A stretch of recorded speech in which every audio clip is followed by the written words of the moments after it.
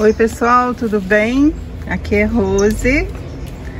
Hoje eu vou fazer uma atualização para vocês das Denfal. Eu prometi que assim que eu resolvesse qual produto eu iria usar para combater o fungo ferrugem, eu contaria para vocês. Eu fiquei em dúvida se usaria o enxofre ou o cuprodime. Mas eu conversei com a Lu do canal Porta da Lu. Eu chamo de Rainha das Denfal. Ela tem tanta Denfal linda e ela entende tanto. Aí eu perguntei para a Lu, ela deixou no, no comentário do vídeo que as dela haviam sido atacadas por um fungo também diferente do ferrugem, mas sim receberam ataque de fungo e que ela havia tratado com enxofre. Então eu perguntei para ela como que ela fez. Ela diluiu uma colherzinha rasa de café num litro d'água e aplicou de 10 em 10 dias. Eu vou aplicar uma vez na semana. E olha, eu retirei as folhas que estavam visivelmente atacadas. Não fica bonito, né?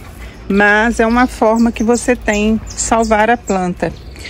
Mesmo porque as folhas depois são descartadas, né? Não, as que são é, acometidas com esse fungo, elas são descartadas. Então eu não tinha mesmo solução. Mas olha, eu estava me preparando para fazer o vídeo e encontrei essa aqui também.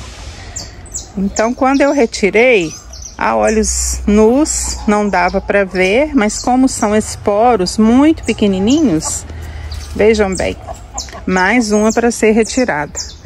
É, só vou deixar mesmo as limpinhas, mesmo porque isso pode se espalhar pelas outras plantas, né? E eu não quero isso. É muito fácil de se espalhar. Realmente eu não quero que eu não quero correr o risco de que passe para as minhas outras plantas, tá? Elas estão aqui num local neutro, como eu disse, longe do orquidário.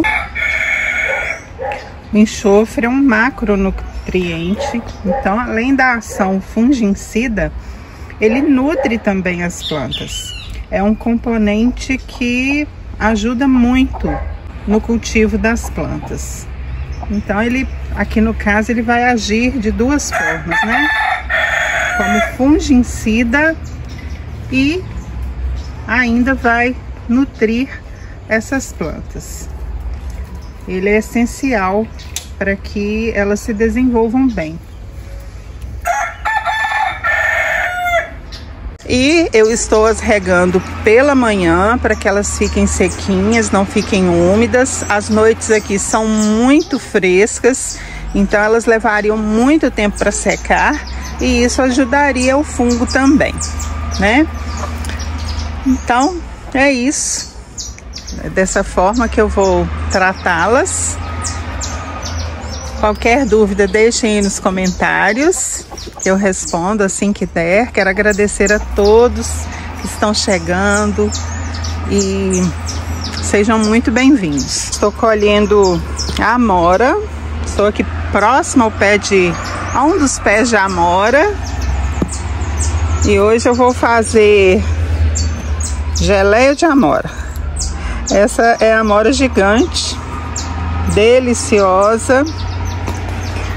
Então hoje eu estou competindo com os pássaros, mas não vai fazer falta para eles não. Tem amora demais, demais, demais, demais. Bom pessoal, um, um vídeo rapidinho só para atualizar mesmo e contar o que eu vou utilizar para combater esse fungo. Um beijo no coração, fiquem todos em paz e até breve.